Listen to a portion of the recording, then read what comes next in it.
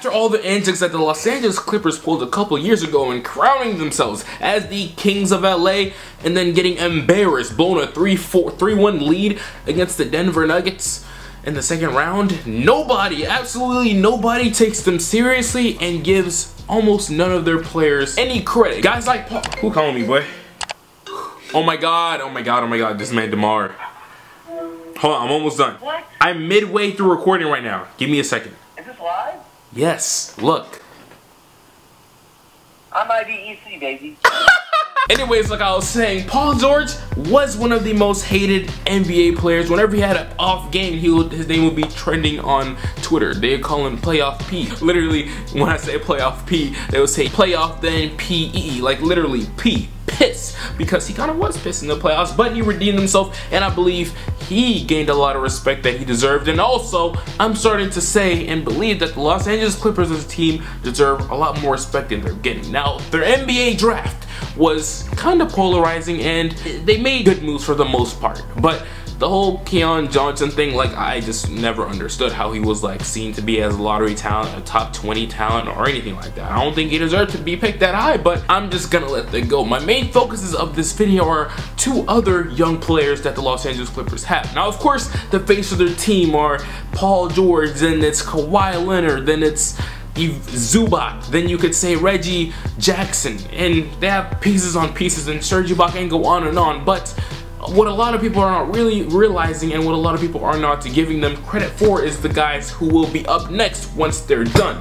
Guys like a Terrence Mann, super nice. He was drafted in the 2018 NBA draft. That draft class is looking better and better as each year goes by. Terrence Mann was like a 48th or 38th pick, bro. And he's not only one of the guys now for this team, but in the future, he's definitely gonna play a big part of their team as well. But someone who could play even a bigger part for their future is BJ Boston. Brandon Boston Jr., that's his actual name.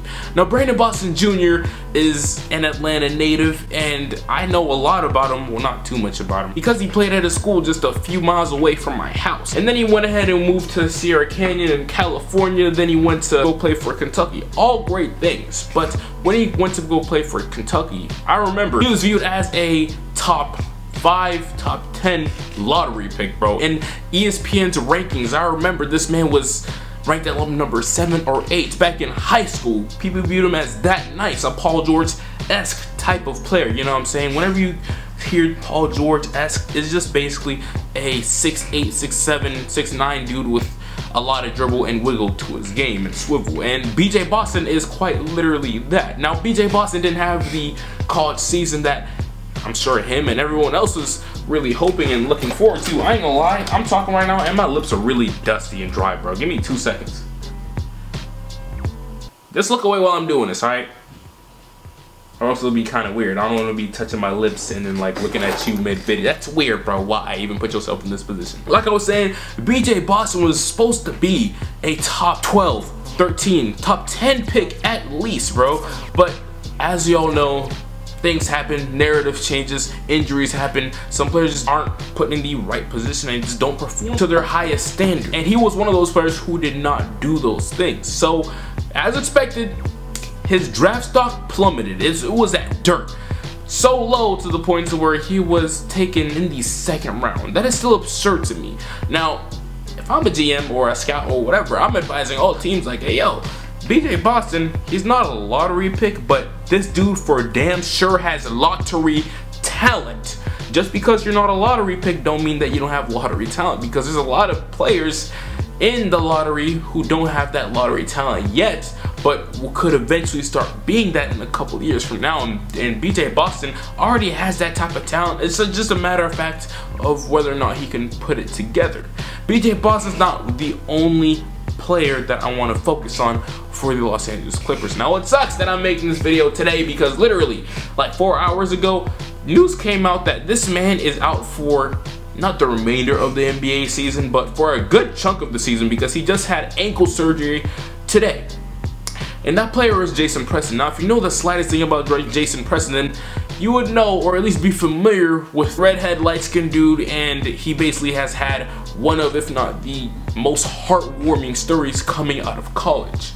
Jason Preston is a 6'4", he looks like he's bigger than 6'4", actually, but he's 6'4", pass first point guard with a lot of unique skills that he can bring to the game and a lot of unique skills that he's going to bring to the Los Angeles Clippers. But before he was able to go ahead and be the person that he is today, I'm just gonna let you know that this man, he has, if you're sleeping on him now, that ain't no issue because he's been slept on literally his entire life. His high school career, he averaged just two more points than me and you. Some of y'all played high school basketball watching this video right now and you average more than two points. Maybe average two and a half or three. That's still good. Jason Preston though, he just averaged two points. That is absurd and he was so down bad in his college days and prep days that this man had to go ahead and create his own mixtape, his own AAU mixtape specifically. The mixtape went stupid. He got a couple offers, really two offers from D1 schools, and one of them was of course from Ohio. And as soon as he stepped foot, not his freshman year, of course, he was kind of dookie, but after that, he took off and took off to the point to where he got a lot of NBA scouts and also I'm not a scout but he got my eyes too and my attention just thinking about a core BJ Boston and Jason Preston who fit each other's game like extremely well the Clippers are up to no good. And a lot of people are gonna be surprised by this in a couple of years time. Why? I don't know. Maybe it's because y'all refuse to give the Clippers any type of respect because they are the Los Angeles Clippers. Don't let Jason Preston fly under your radar. Don't let BJ Boston, who is lightweight, who is, you can label him as raw, but he still is super talented, hella skilled, has all the handles. He's tightened up his handles since he's been training under an NBA team. His shot looks a lot better.